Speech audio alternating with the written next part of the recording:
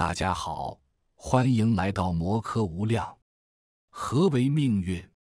为何生活中总有人抱怨自己的命不好？在许多人的心目中，或者是嘴头上，都时常会想到或说出“命运”这两个字，而且大多数人似乎都是认命的态度。那么，什么是命运？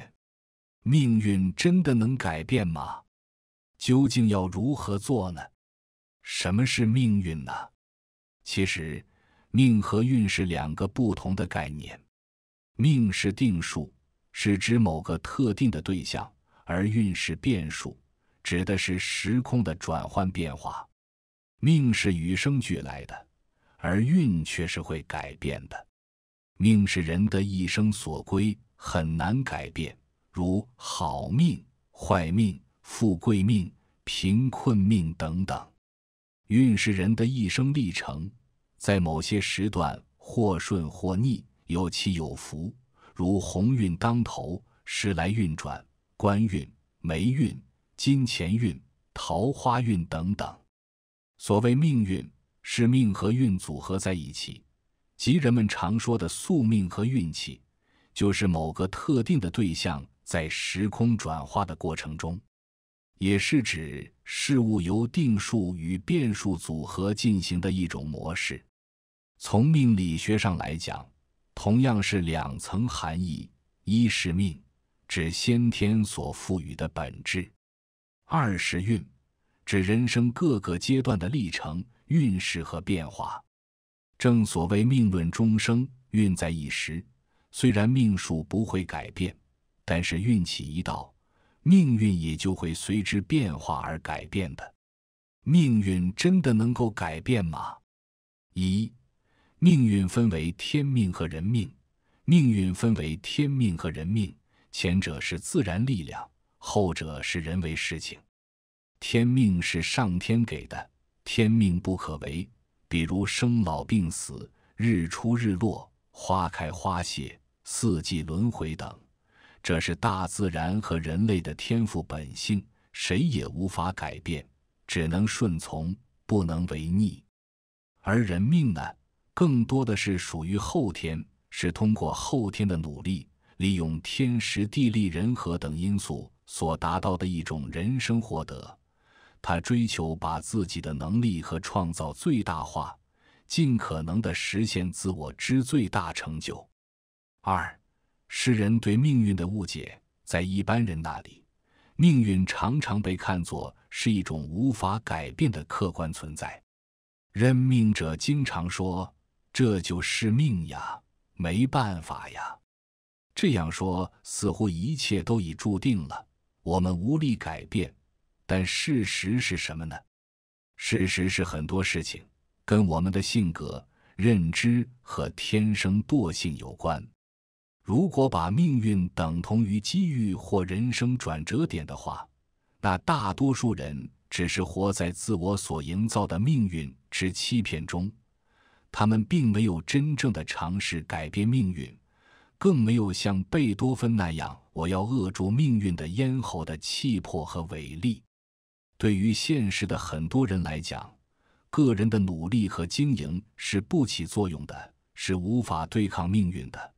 他们把很多事情都归咎于外在的客观条件所限，从来不去考虑自我的认知错误、观念偏见，以及各种人为因素所导致的自我创造能力的丧失等问题。这就是我们对命运的误解和误用。三，除了天命，其他都在人为。道家讲无为无不为，其实这种无为也是一种作为。只不过，它是按照事物的规律，不任意的干涉和乱为。如果有人中了千万彩票，或者通过一次偶然的机遇一下子发了大财，我们就会以为这人的命好，运气好，就会很幸福。可真的是这样吗？贪婪的人性黑洞告诉我们，这样的人根本没几个是幸福的，而是相反。由于金钱和物质的麻痹，他们很多都越来越远离了幸福，以至于走上了人生不归路。对于整体来讲，这种所谓的命好，只是一个小概率事件。大部分的命运之路都要靠我们的辛勤和汗水浇灌，否则，除了天命以外，我们人类存在的意义又在哪里呢？如果我们什么都不做，要我们干什么呢？四，成功来自于我们的信念和付出。真正的幸福和成功跟天命有关联，但并不决定。它们不来自于运气，更不来自于偶然的天降大馅饼，而是来自于我们的信念和为之付出的心血。只有这样，我们的人生才会充实和富有。有人说，马云的成功是偶然的，他赶上了互联网的好时代。可我们要问的是。中国十四亿人，为何独独只有马云看到了互联网的巨大潜力呢？为何好运之神偏偏眷顾了一个长相不起眼的人呢？这其中看似偶然，其实是一种必然。因为马云在大多数人举步不前、旁观犹豫时，已经坚定了走出了第一步。这第一步正是他命运的开启。所谓的成功或运气，都是为那些准备的人准备的，这点到任何时候都不过时。五，你的认知决定着你是什么样的人，你认为什么，你就是什么；你相信什么，你就成为什么。在命运面前，我们人类大多怯懦，大都很少反省自我。我们经常犯的一个错误就是。太强调外在的一些因素，太过重视客观条件，从而忽视甚至绞杀了内在的主观能动性，忽略了自我性格、自我的老化的观念对事情的影响和改变。君不见，在城市的某个角落，在山区的某个庙中，依然盛行并上演着算命、求佛、估价命运等方面的人生之悲剧。也许有人会反驳说：“我已经很努力了，起早贪黑，尽职尽责，但为何还是没成功呢？”就像一位作家所说：“你的努力可能只是表面的，只是看上去很努力，你并没有认识到成功与自我之间的距离，没有真正反省过自己为何不行的深层原因。另外呢，你对事物的定义。”决定着你的前行的远近。其实不成功的源头还在你自己，在于你对成功的定义和理解。如果你把成功看作一种理想的止步，把失败看作尚未完成的成功，你是否还会过多的在意过去的得失呢？是否还会一直以为自己很丧呢？命运这个东西，说大也大。说小也小，说厉害也厉害，说不厉害也就不厉害。只要我们在顺从天命的大框架下，把自我的付出和潜能彻底激发，及时改变自己的错误认识，进而做到问心无愧、今生无悔，那谁又能说我们没有幸福过，没能把握自我之命运呢？正所谓心念所至。生万千欢喜，作则必成。每一个人当下的生活都是根据自己心念所决定的。一个拥有正心、正念、正行的人，做什么事都会成功的。若一个人总是在抱怨、在怀疑、在憎恨，那么即使他再怎么努力，生活还是在原地打转。这就是相由心生，境由心转。你的命运藏在嘴巴上，藏在你的言谈举止间。所以，想要改变命运，就要不断的对自己进行正向的积极自我暗示，以改变命运。从改变心念开始。所谓心念一转，万念皆转。你有什么心念，就有什么命运。在《秘密》一书中有这样一个故事：一个女士得了癌症。但是她每天都会对自己说：“感谢我已经好了。”她心里完全相信她病已经好了的这个事实。她每天的的工作就是看喜剧片，让自己开心，让自己笑。三个月之后，奇迹真的出现了，他的癌症居然痊愈了，太不可思议了！没错，这就是心念的力量。当你真心渴望某样东西时，整个宇宙都会来帮你。心里想什么，就会聚焦什么；聚焦什么，就会得到什么。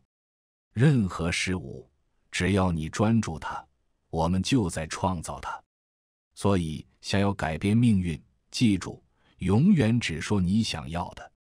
二、改变命运，从改变言语开始。俗话说得好。性格即运气，语言即命运。